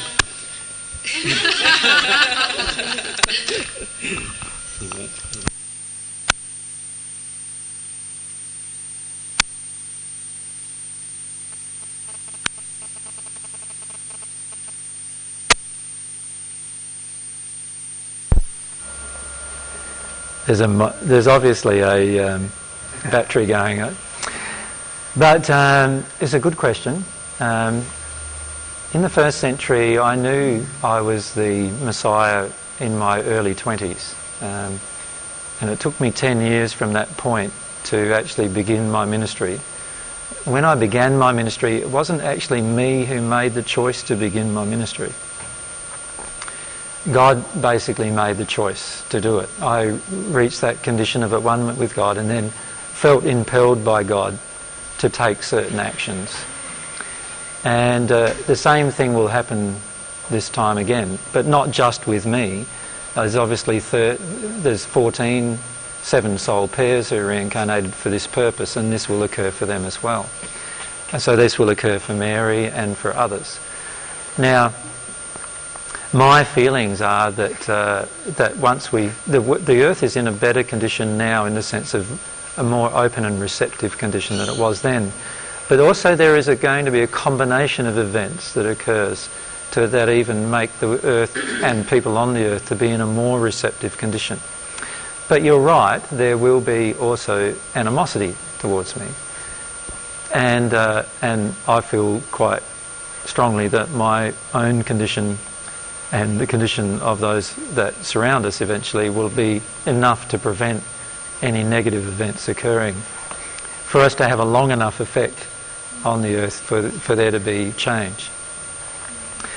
But uh, that all being said, um, at the moment it is one of Mary's major uh, feelings that she has that I probably will pass. Um, Which I'm aware creates a law of attraction, so I'm trying to work on it. yeah. So we're actually, even you asking the question is one of Mary's law of attraction. um, I feel I will not pass, um, and I don't feel that many of the the, the the, only ones of the 14 who will pass have already passed. So the Apostle John, who's already passed, and I feel that he will be the only one of the 14 who pass. That being said, of course, the 14 can choose to not deal with their own emotions too, which can cause a negative law of attraction to occur. But I don't believe that uh, that will actually occur, particularly once myself and Mary get into the con- condition of firstly at one minute again and then, and then at one minute with each other. Um, obviously, our ability, what we're doing right now is gathering, I suppose you could say, gathering friends together. Um, so many of you are here not for any other reason than you're attracted to truth. Um, you don't necessarily believe that I'm who I'm saying I am in many cases, or most cases. You're yet to have any emotions about that for many of you. And so, what's really attracting you is this resonance that you have going on inside of your soul of truth. You know, this feeling that I'm actually hearing truth here for the first time in my life, for many of you. And many of you are demonstrating a faith as well. Faith is knowing or feeling that something to be true, even though you're not yet experiencing it in your own life. So many of you are feeling these truths into you, getting into a state where you're feeling these truths, and then feeling that, hey, actually, this might be right. And I might be able to go with this, and things might change in my life. And, and you know, it might actually finish up turning out that AJ is who he says he is, and it might turn out that Mary who Mary says she is turns out to be that as well, and then so forth. And it, won't that be an incredible experience? So that's partly what's going on inside of many of you. That in itself uh, makes you quite unique. Uh, un- unbeknown to yourselves, you are quite unique in, in many cases. Some of you know your own uniqueness, but one thing that's very unique for the majority of you is how much truth burns in you compared to the average person and how much it resonates inside of you compared to the average person. And that's what's brought this law of attraction. So, what we're really doing at the moment, what I feel I've been doing for the last five years, is bringing together all of those persons who are going to be key parts of the changes coming on the earth because of these unique aspects within them, not of any special physical trait or characteristic that they have, but this unique thing of this desire and passion for truth and desire and passion to experience love and desire and passion to change the world around them. And many of you have those desires and passions already, right? And that's what's causing this attraction. So this period of time for me is very similar to the period of time that I spent from the time I was 20 or 19 in the first century till the time I was 31, um, which was a period of 12 years that I went through in my own progression, gathering my friends, if you like. And those friends turned out to be the persons who, after I passed, did most of the work in changing the world. And I feel even if I passed after this period in time, many of you, with what you have learned, will be the people who actually put those truths into action and change the world. Um, so I feel it's very similar in that regard. There's a lot more information available this time, and because it's written and videoed and, and all these other ways, um, it's obviously a lot more easily communicable as well, um, which, which obviously is going to have its own benefits too. So in the first century, everything happened by word of mouth uh, and could happen no other way. Now, obviously, the soul attractions can happen in a much more powerful way because we've got the influence collectively to just by our soul condition changing to influence everyone around us, and then we've got these different mediums, these communication mediums, which means that people can get in contact with us a lot easier. And so, at this point in time, I feel there's going to be, in the coming year in particular, there's going to be a large growth in the people who are, if you like, the friends of the truth. And those people will become very influential in further changes.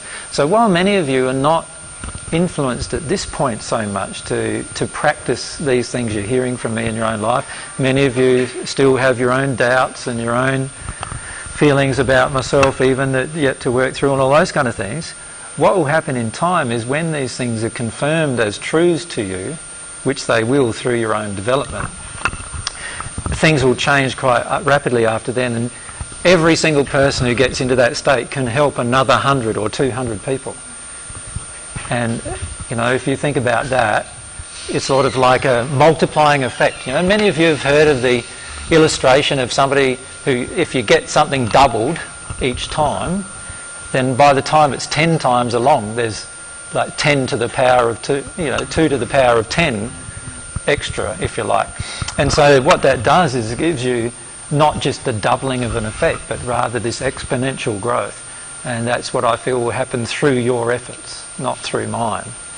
Um, I'm only capable of connecting to a certain number of people at once um, although the mediums available for us to do that at this point are much better than the ones I had available in the first century.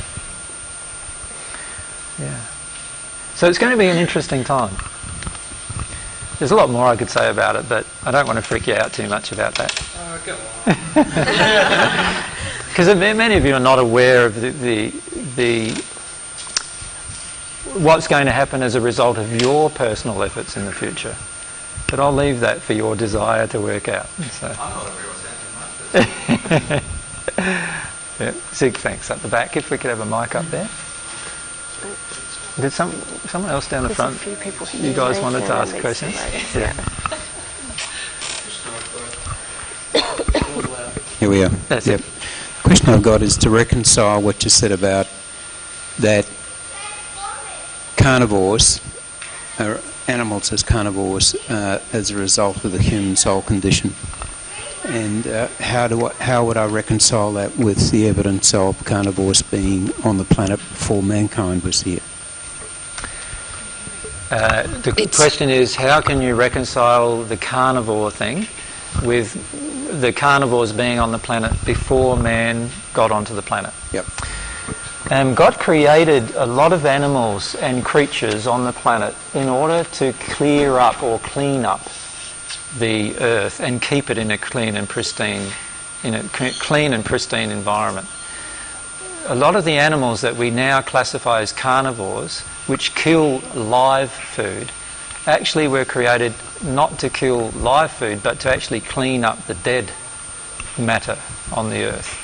So, in other words, let's say um, a large animal died, if there wasn't some insects that were carnivores that ate, that ate meat or, or cleaned up meat, for instance, flies and mosquitoes, you know, those kind of things, and then there wasn't some animals, then obviously these things would stay polluting the environment for much longer periods of time and they'd take a lot longer to decay.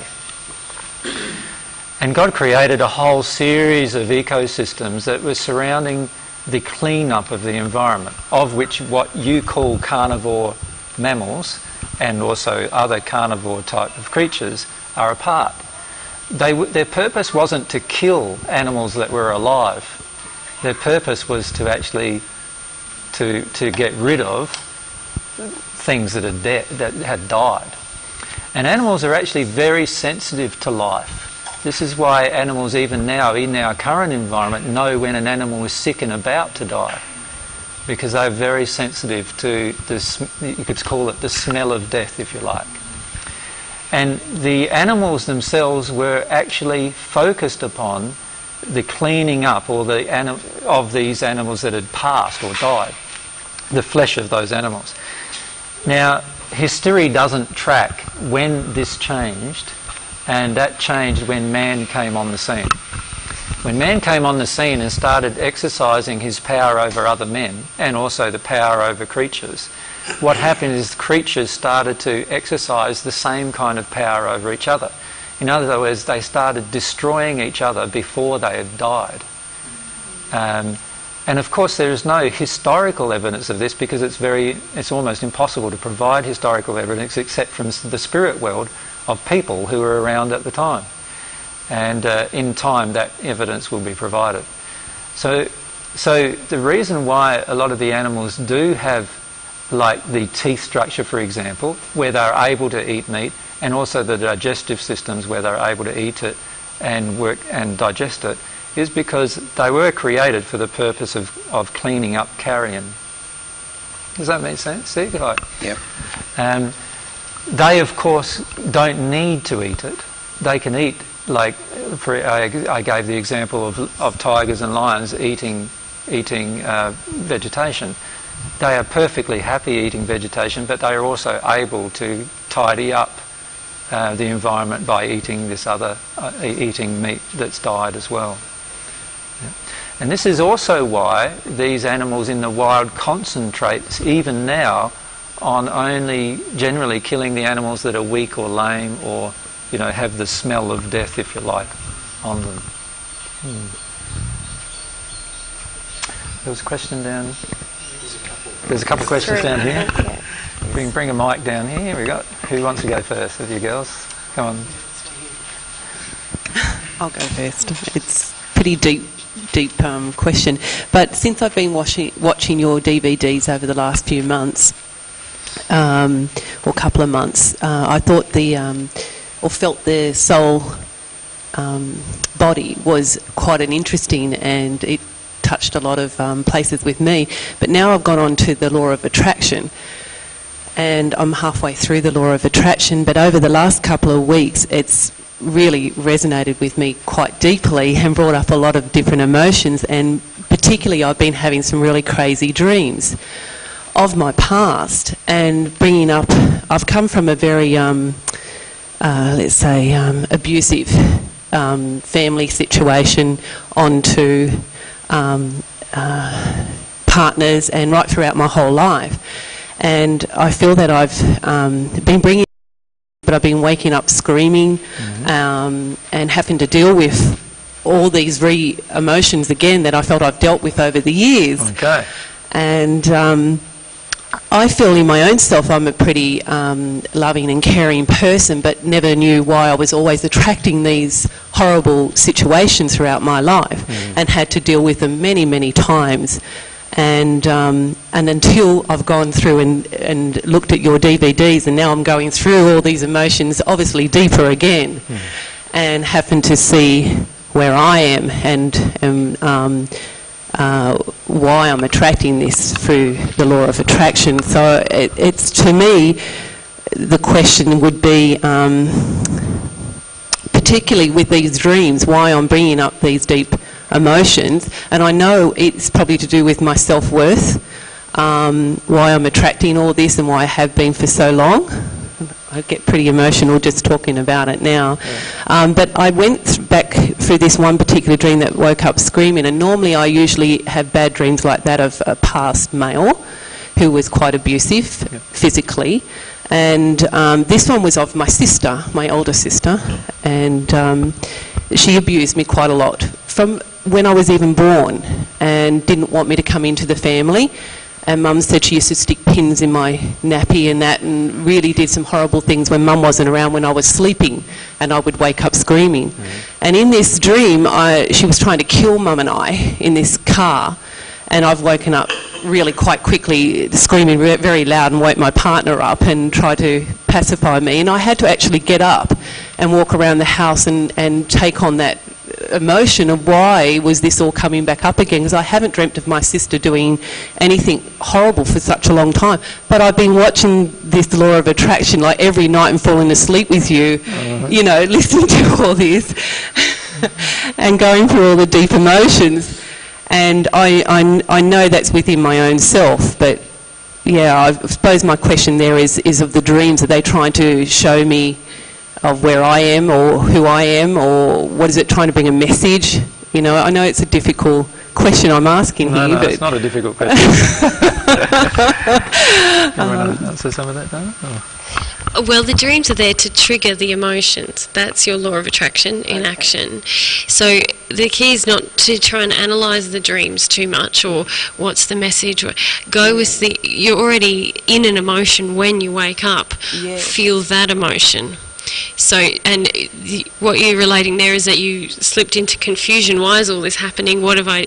that's it. Yeah, That's it. but the key is just to stay with the terrified emotion that you had and, and try and process that. And then there's some other emotions there for you about feeling like unworthiness, poor sense of self, that kind of Very thing, much. which has been a, an ongoing law of attraction. Very much. So the key is don't don't analyze it too much. Just trust your law of attraction is bringing you these dreams to trigger the emotions, and try uh, try to process the emotions. Stay out of the head. Stay out of the head and deal with the emotions, okay. And definitely the fear was there. The fear came up enormously. So, So that's the Okay. fear that you thought you had dealt with but haven't dealt with. yes. And so the key is to allow yourself to understand that, yes, there's a whole deeper layer that you thought you wasn't there but is eh, there. Yes. right? and that has been bringing you the law of attraction. Now, the other thing with dreams to bear in mind too is that it's a combination of help from your guide and yourself. So what mm. happens is often we go into the sleep state at night and we sit down there and we figure, all right, I know this, in the sleep state you can see your own emotions quite easily, mm. right? I know this emotion of fear about my sister is still inside of me. How can I trigger it? Oh, a good idea would be, right? I give myself a whole sequence of pictures. I talk to my guide about giving myself a whole sequence of pictures and waking me up just at the moment that I'll remember them. okay. Because I remember them very clearly. Of course, and it seems to be more so since you've been watching the DVD. I have, yes. okay, and this is what happens: is we start realizing that there's actually a lot of ways that I can actually access these emotions in me once I have a desire to get to them. Okay. So what's happened for yourself is you now have a desire to get to them, mm-hmm. and so I what do. is going on now is that you you've got a you found a fantastic way of triggering them, just the dream process, and giving yourself these promptings, right? And so you've been doing that. And the key is to keep allowing that to occur and not get too distressed about it. Okay. Once you have worked through the causal emotion, you won't have that dream again because there's no point of it. Okay. And also, even if you did have it, you wouldn't feel it to be the same uh, you wouldn't feel the same response from it. Yes. So even yes. if you had the same replay, uh, you would not f- wake up screaming, for Yes, example, yes. if you dealt with the aspect of terror of it. Yes. The truth is that because there has been a lot of abusive things happen to you in the past, and it began with this terrible emotions projected to you f- by both your parents and your sister. Um, your sister's emotions, by the way, was a reflection of your mum and dad's emotions towards you. So she would come and stick a pin in you for the same for, for the same reason why your parents the parents basically created that emotion in her. Okay. Right, She was just reflecting the emotion of them. The feeling that, you know, I can't look after a child right now, I can't have the child right now. It's not good that if it's a girl child, uh, there's a bit of that in there as well. Yes. And so there's quite a lot of emotions that were bombarded at you at a very early age from Yes. your parents. And your sister was just reflecting those emotions. But that's created a lot of causal emotions inside of yourself that you do still need to access. And you are now getting to the core of it. There's a group block of terror that you need to allow yourself to experience, which you've been going through. And then there's also a lot of feelings of worth attached to those, which you'll actually access and you're starting to access now. Yes. And you'll work your way through those two, probably using the same methods. Okay, thank you. Because I have been praying for God to show me my self-truth and Well, your prayers have been answered, girl. not in a nice way, but yes, I know I have it to deal nice with way. it. It's far better. It's far better you having a dream about this than someone coming along and sticking a pin in you. I've had worse things than that, but that, that was Exactly. the start of it. exactly. So, so actually, this is one of the best and easiest ways for you to access causal emotion Okay. through the dream process. It's one of the most loving things you could do for yourself compared to not having that and having to get it happening through your law of attraction. Okay. Does that make Yes. sense? Yes, it does. Yes. So, so it's actually of your own, it's created of your own desire to help you work through your emotion, and it's a fantastic tool that you're using, and it is very loving. It's one of the most loving things you could do for yourself. Is it? Oh, Yeah. good. I thought I was attracting more horrible things. No, no, what you're doing is life. dealing with the causal emotion of it now. Okay, Yeah. that's what I want to do. And that's Absolutely. what. And that's you've set your intention. You pray to God for that. You Yes. tr- trust now that this is what what's happening now is your is your best way of dealing with this problem. Okay. Does that make sense? Yes, it does. Like any other way would be more traumatic than this way that you're actually dealing with it now. Okay, I see what you mean. Okay. Because you would attract events rather than actually. Oh, dreams. okay, I see what you mean. Okay, yes, yes. And I I'd rather do it that way. Yeah, much Yes, better. okay, much so- better. To have, Mary's real good at the dream thing. I'm terrible and so I have to do the event thing. Trust me, you want to do the dream thing if you can get away with. Wonderful. Thank you. Yeah. So the dream thing is a lot is just as powerful, and if you really use it appropriately, it can help you get into some really good causal emotion quite easily and rapidly, without you having to re-experience it physically. You know, like so. I see what you mean. I've actually had many, many dreams of, of and way past. And like I've even brought up even past um, uh, relationships where I haven't even thought about these particular people. It's, it's only just since I've been watching these DVDs. And I'm thinking, why did he come up in my head, you know? It's like I'd sort of put him way in the past. all the unhealed stuff all Yes. comes up, and everyone finished up going down the track of saying it must be something AJ does to me. He's, he's got some mind control thing going, like, you know what I mean? And it's not like that at all. What it is is you've set your intention to deal with it, and on top of that, you're now dealing with it in the most loving way for your for you to deal with it. Okay. In my case, I have a lot of trouble dreaming. Uh, it's rare for me to dream, and so I have actual events occurring. So Mary will wake up in a dream with everyone being angry with her. I'll actually get it in practice. so it's, it's very different in practice than it is in the dream, but it's just as effective in the dream if you tune into the emotion of it. Oh, okay. And Oh. you're in the perfect place to start processing bed in Yeah. bedroom. Yeah. Yeah. To and I must turn off the video before I sleep with it. yes, thank so you. So it is a very powerful way for you to work through causal emotion. Okay, well, with the dreams, can I just ask one more thing? Sure. Because on the other side of the coin, I actually have some very loving dreams, and it's usually of one particular person, Yeah.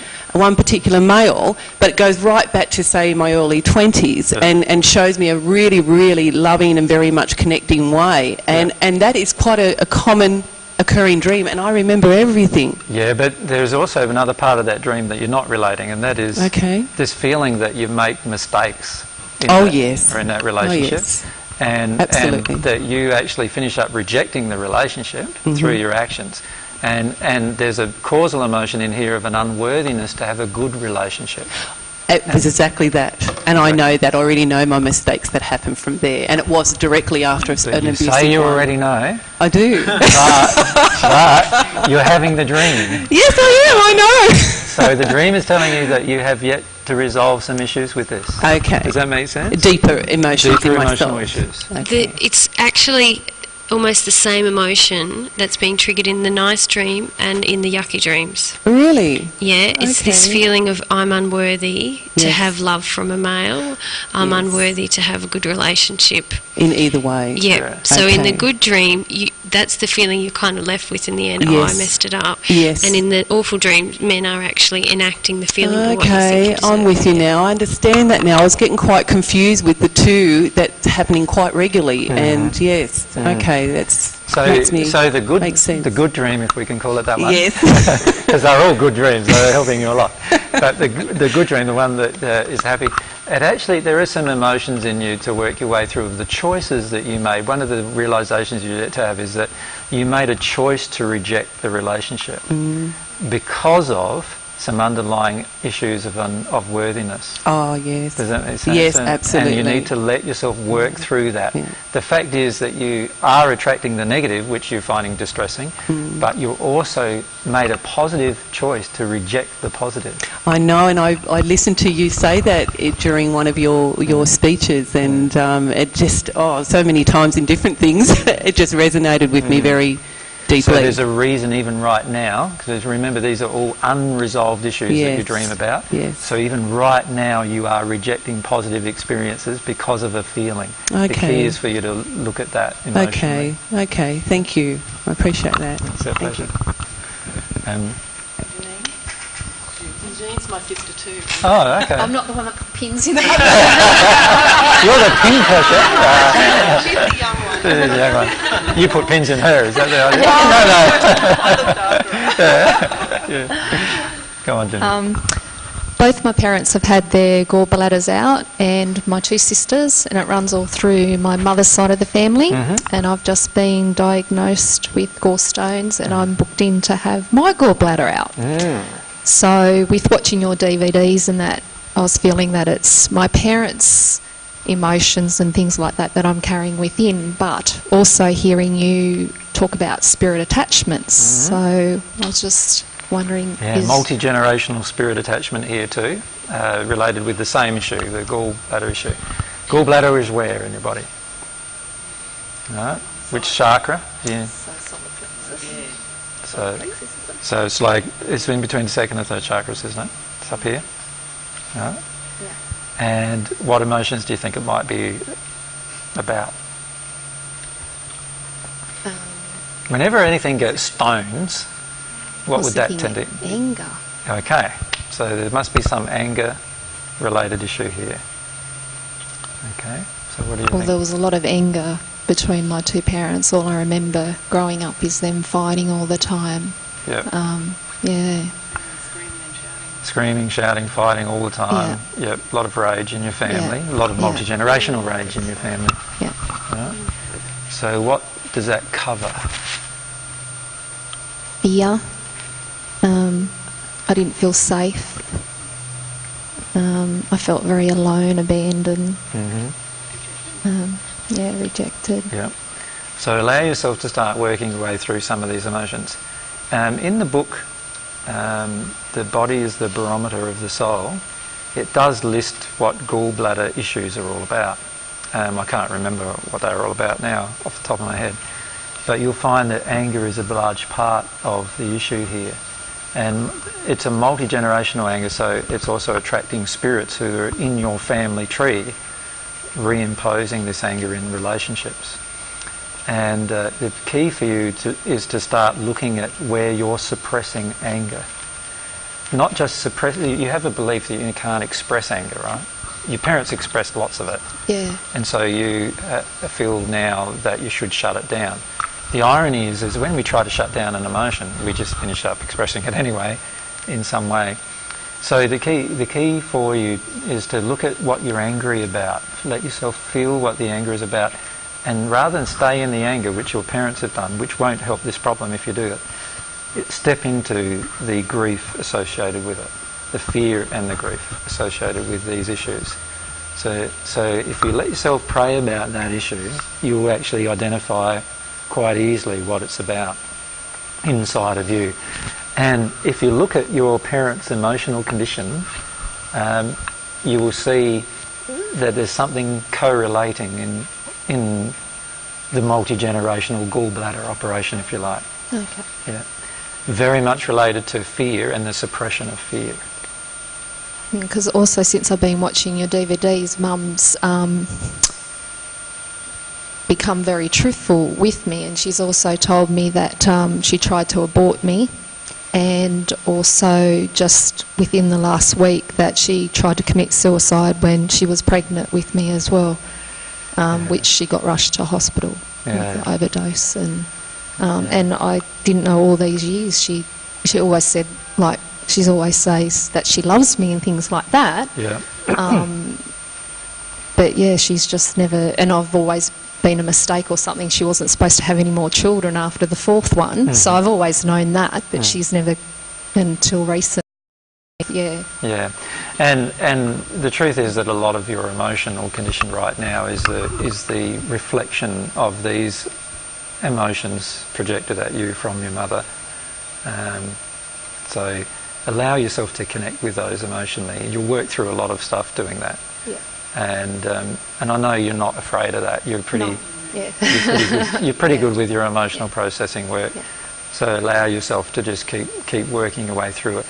And if you do, you'll find that the gallstones will break up naturally. That was my next right. question. Am I able to? Are you able to heal the problem? Yes, totally.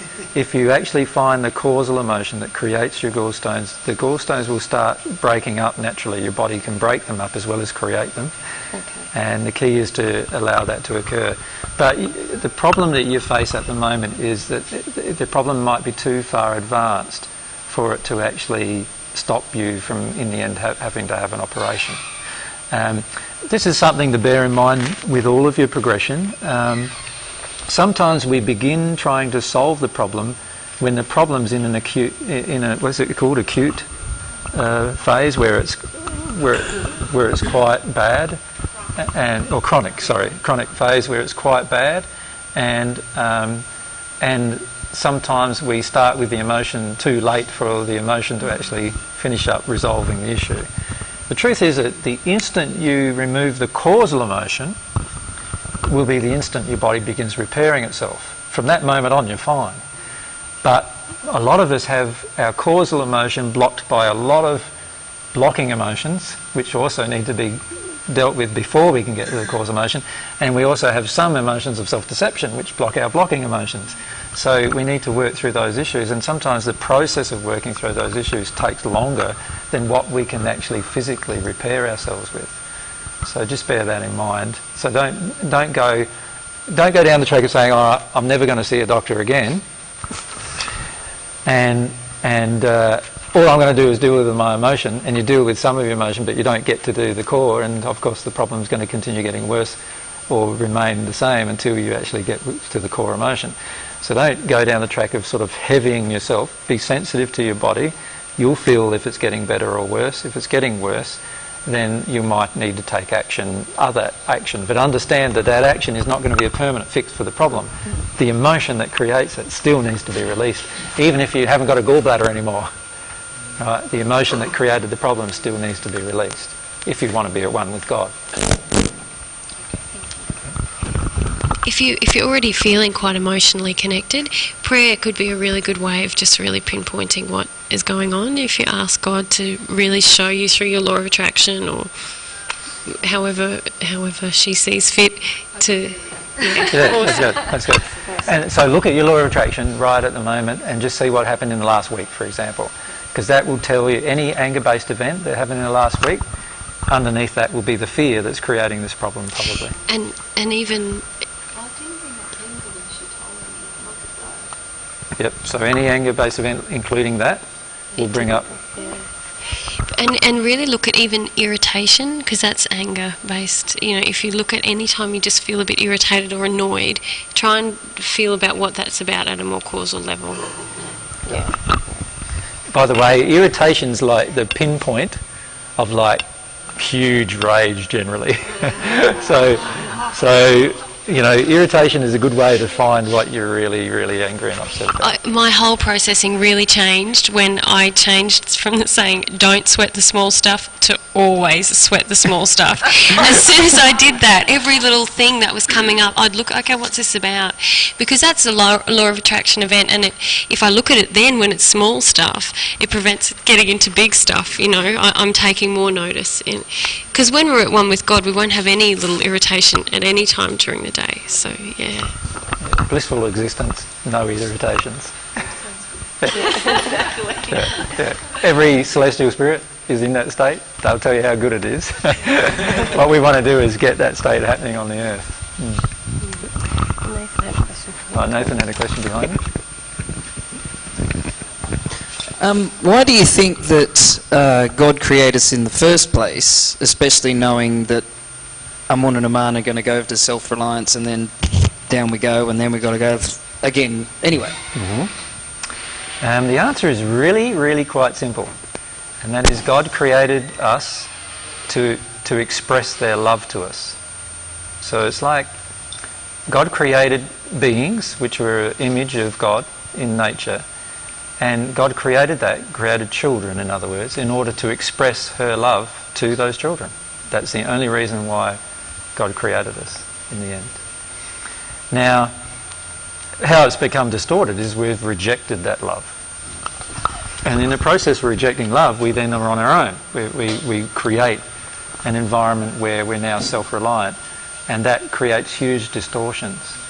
Um, and so almost all, all the pain that we are experiencing now is the result of those multi-generational distortions that have occurred. But in the end, the, the, the basic reason why God created us was to love us, so that God could express her love to another being who had its own free will. Mm. He's a she and she's a he. She's a she. yeah, God has a is not uh, doesn't have gender, but I often think of God as my mummy or my daddy. So. An entity. Um... An entity. A being. Was Just human or was no? Was no, never was human. Oh. As far as I'm aware at this point? I just wanted to ask Nathan what emotion drove his question. Thanks, Mary. uh, it'd be the same old intellect thing, just wanting to try and box God into my little world so I can understand it rather than feeling it. It'd be that, that yeah. same stuff. Yeah. yeah. That's good. Just so yeah. So that's an emotion. Yeah. Yeah. Yeah. yeah. yeah the control Just thing. Getting you to be an emotional detective with me. we know how much trouble you have with that. Yeah, love you guys too. we do it because we love you, okay. Um, if we can go across to this lady over here, that's all right. I've forgotten your name, sorry. Kerry. Kerry, that's right. Um, getting back to the uh, law of attraction, um, I've had a lot of that um, lately. Yeah. Once again, the law of attraction DVD yeah. has helped. Um, recently, my husband came home last week and he came home limping, yeah. and uh, it was his right uh, Achilles heel. So he walked in and I said, "Oh, you've been having problems with men." and um, and obviously issues with work. And he said, "Yep, 500 of them." So he came home limping.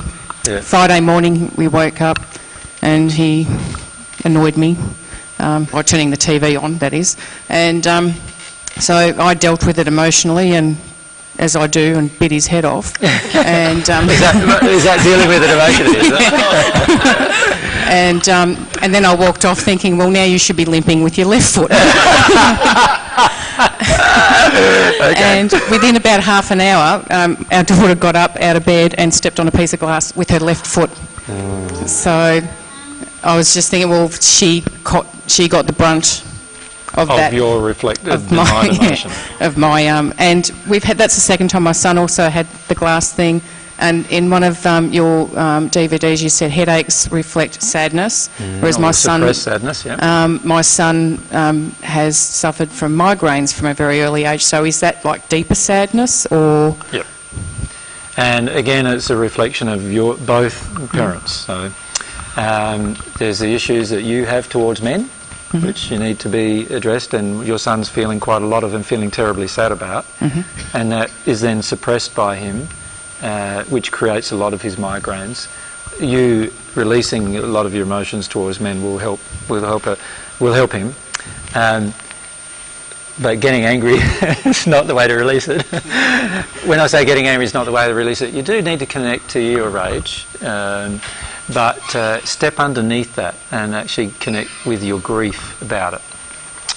Your daughter reflected a self-attack emotion, so the fact is that when um, your husband got up, turned on the telly, and it annoyed you, the actual underlying emotion was an emotion where you weren't being valued. You, you felt you weren't being valued, uh, created by actually some emotions inside of yourself that you don't feel valuable, even to yourself. And your daughter, uh, it's a self-attack emotion which your daughter reflected by her left foot getting cut. So every single event in your life, and particularly events surrounding your children, are a, a complete reflection of what you're suppressing within yourself. I watched the um, the parenting DVDs. Bit too. confronting, hey? It was huge, and I'm getting to a point now where I am totally aware of everything that does happen. But it's the why, or not, and not, but it's like, okay, what is that? Why has that happened? And what is it that needs that I? Uh, that's where I'm losing. Yeah, the but connection is getting lost with me. Mhm. Every time something happens, I know it's happened for a reason. It's and, and because it's with it's happened while I'm present, I know it's my emotion that needs to be dealt with. But it's like finding Yeah, but can I just clarify something for you though? It's happened because you do not want to know the emotion. You think you want to know the emotion, but if you wanted to know the emotion at the soul level, the event wouldn't have happened. Can you? s- Right? Well, it's like the law of attraction. If if if I was just feeling all of my emotions in every moment, I wouldn't need a law of attraction event to trigger an emotion within me. So your children are actually part of your law of attraction, very powerful because they're so sensitive to whatever emotion you're denying in yourself. They immediately reflect it, or they or there's an event involving them that triggers the emotion that you're in denial of. Yeah. So, uh, do you understand? Whenever anything happens to our children, it's because we are denying the emotion, not because we want to know what it is. Do you understand that? Does everyone get that? Like, things that happen are they happen because we are wanting to not know what it is. If we wanted really to know what it is, then it would already be beginning to be lessened, like the, the actual events would lessen straight away. It's the desire to not know that creates our worst law of attraction. Do you follow me? Mm-hmm. So that being in mind, I would be better off saying, I don't want to know what caused my daughter to harm her heel, because if I did want to know, I would probably have not created it. So the best thing to do then is to talk to God about why you don't want to know and to ask yourself questions surrounding why you don't want to know, not what it's about. So in other words, instead of asking myself questions, what was this about? I'm better off asking myself questions, why don't I want to know what this is about? Do you follow me? Because actually, there's a whole group of fears that you don't want to know that is actually creating these events. And what you will need to do at some point is allow yourself to know what you're afraid of. And so, um, and most people are not aware that when these events occur, most of us are trying to jump straight into the causal emotion, not recognising, in fact, that we don't want to know what the causal emotion actually is, because we're afraid of it. And we need to know, firstly, why we're afraid. Does that make sense? Oh, absolutely. So talk to God about why you're afraid, hmm. what you're afraid of, rather than talking to God about telling you what the actual underlying emotion is. But see, that's the thing. I'm, I'm, I, I don't want to go there. That's that's the Ah. thing because well, one of my questions was going to be. Um, how far back to your childhood can you remember? And the lady back there answered that before, and whereas I don't remember much before I was nine. So I think, I assume that whatever is there before I was nine, I don't, and that's what's preventing me from going forward because I don't want to jump into that big pit. So pray to God about getting the courage Mhm. to actually f- remember everything. So how do you remember? Does it come back in pictures or does it come back in feelings or? Mostly emotions, but it will also be pictures and words sometimes, but mostly emotions. So it'll be like fairly detailed on exactly why you're holding back those. Yes, usually. But initially, obviously, it takes a bit of time to get to that point because there's a large group of fears suppressing those emotions. So, my suggestion is start dealing with your fears, not necessarily with the emotions. Does that make sense? Focus on your fears, why you're afraid. Talk to God about getting courage. About ask for courage, like ask God to give you the, the quality of courage to deal with your emotions. Ask God to show you what those emotions are. And if you feel inside of you that you don't really want to know what they are, to say to God, I don't really want to know what they are. I realise that that's going to create problems. Can you show me how I can get to want it? Want it? Um, and once you do that, you'll find that things will be shown to you so you get to a point where you do want it. And once you get to that point, then things happen quite rapidly in terms of remembering things and getting to underlying causal emotion. Yeah. Thank you. No worries. Now it's five o'clock. Uh, we've been going for five hours already, guys. Um, I don't know how you guys feel, but you've probably, I can feel that the majority of you are now quite tired, so probably had enough, although some of you feel that you haven't. I can feel that too. um, it's been really, really lovely meeting you, and for those of you who have met for the first time, uh, it's been enjoy- we've had a good time with you, and uh, and we've enjoyed your company a lot. Uh, we're going to be up at Armidale. Um, what was it? Wednesday night. Wednesday night. Uh, so we have another session Wednesday night at Armidale. Obviously, it's a fair way between Armidale and here, so many of you won't be there. Some of you will. I know Ken will be there. Um, but uh, what we'd like, uh, what I'd like to do just in, before we go is just encourage you to keep working through these issues with God. So encourage you to just start developing a relationship with God rather than like trying to do all of these things without God. Trust me, dealing with them with God is a lot easier because you get